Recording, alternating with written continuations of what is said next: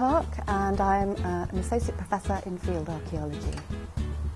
Fieldwork is fundamental to the discipline of archaeology. I think it's, it's the absolute um, basic need because it's the study of the past and really what better way to study the past than by working with the physical remains, working with the buildings, with the objects, the artefacts um, that people had. So it's a very physical discipline and I think um, that really does allow you to uncover the data that will then answer all the research questions that we pose as archaeologists. My name's John Carson. I'm a postdoctoral researcher in the Department of Geography and Environmental Science. My discipline is probably somewhere between geography and archaeology. It's called paleoecology. And for the main part for me, fieldwork means travelling um, to the tropics in uh, South America mostly in Amazonia and Bolivia and Brazil. Uh, and we do things like collect sediment cores from lakes and get terrestrial sediments from soil pits. Um, and I've made a bit of a hash of doing some archaeological digging as well. I'm Bina Balan Sarojini from the Department of Geography and Environmental Sciences and I'm an environmental science scientist, particularly climate scientist.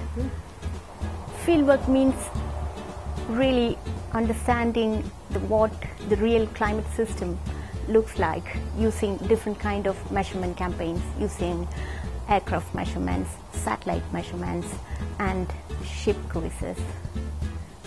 Uh, my name is Leonello. A degree I got a BA from the University of Milan, then an MA and an MSc from, from Reading.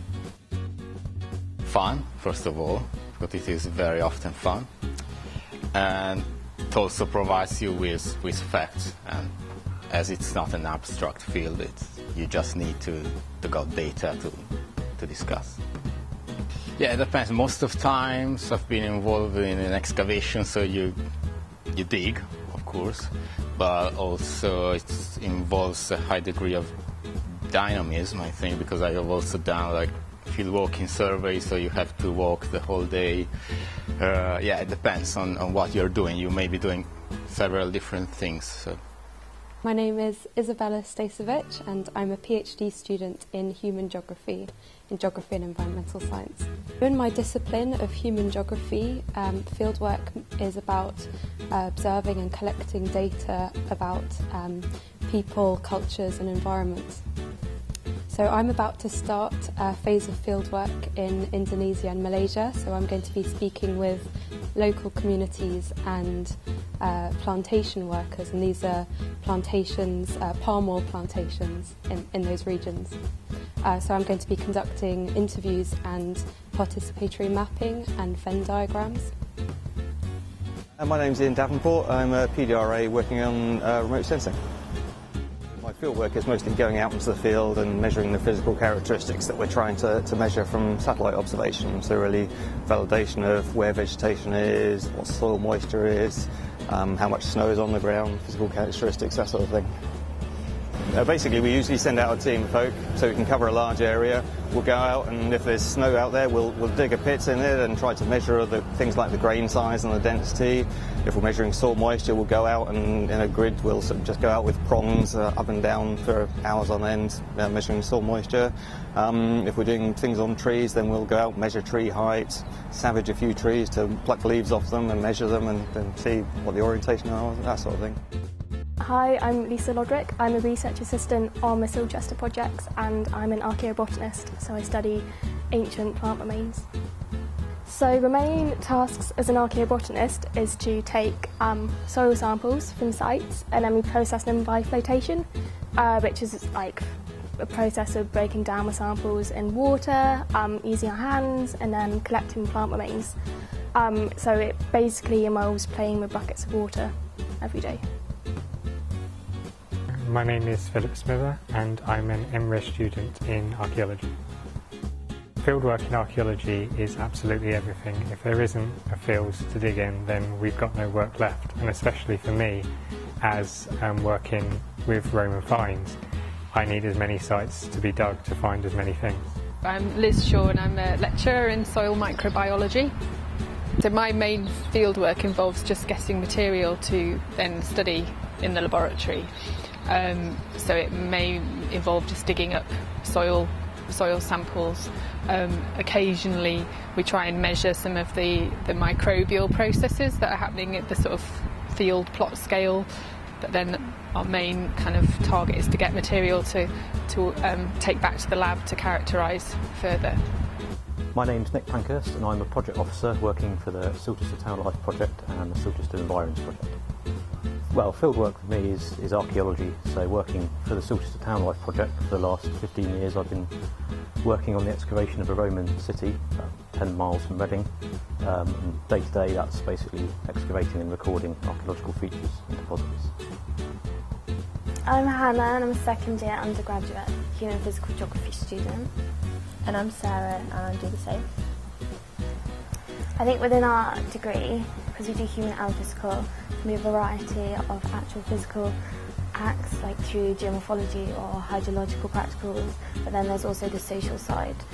Um, yeah, it's very broad, so like we also do interviews, questionnaires, everything really. We went to the human field class at the beginning of year two in Dublin, which was very um, social orientated because we conducted a lot of interviews with people. It was very spontaneous as well, so none of it was really planned.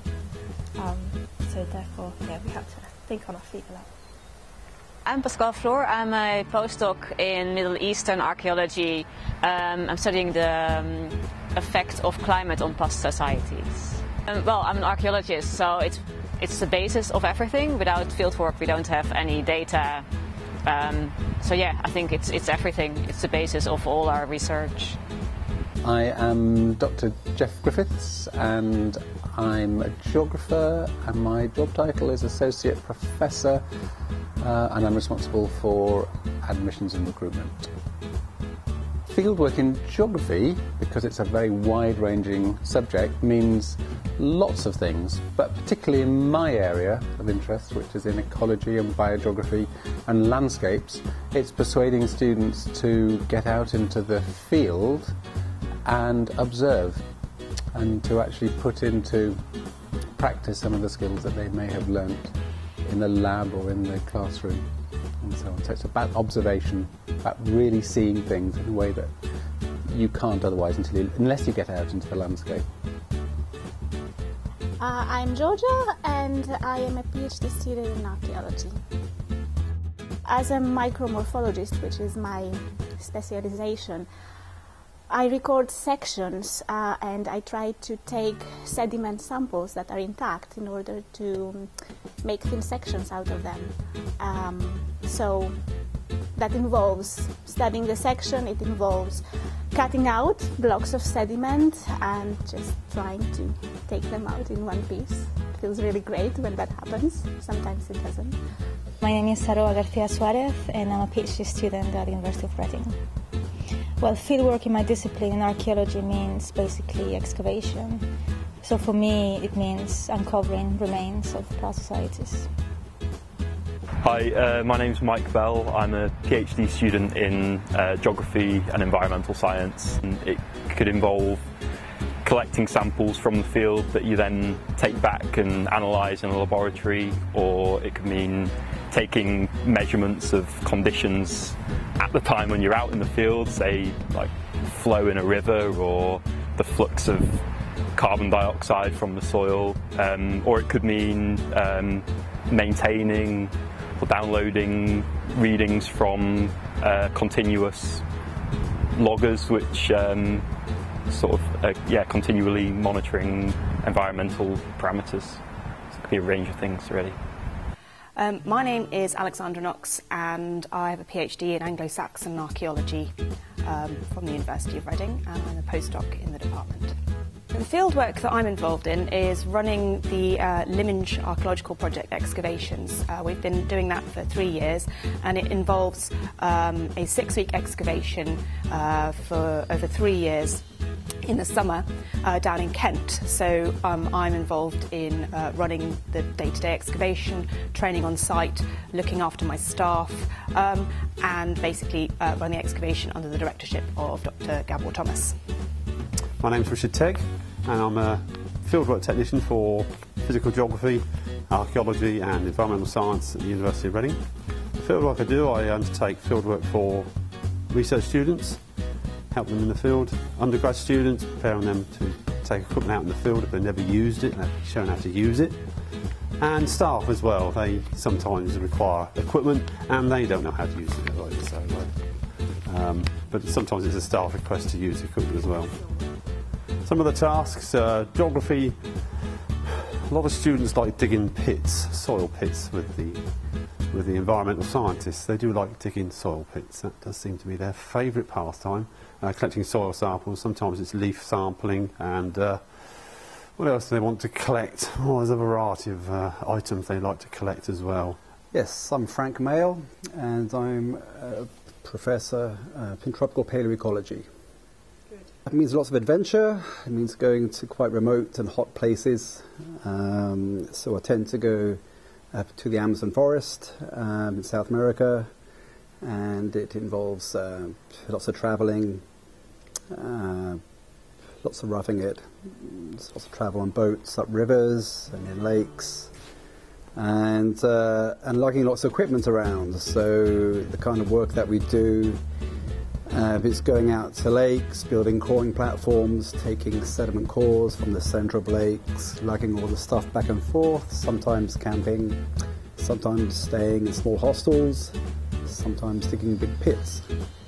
Uh, my name is uh, Wendy Matthews and I'm an Associate Professor in Archaeology at the University of Reading. In our discipline, uh, fieldwork is a collection of um, the primary data that we're excavating, and above all, it provides context, and it's context that gives meaning to the artifacts, the buildings, and everything that we find. So it's both um, an intellectual um, pursuit, as well as um, projects involving um, project management, but also um, science, as well as an increasing amount of science that's conducted in the field, as well as the field excavation skills. So it's very interdisciplinary and requires a whole range of skills.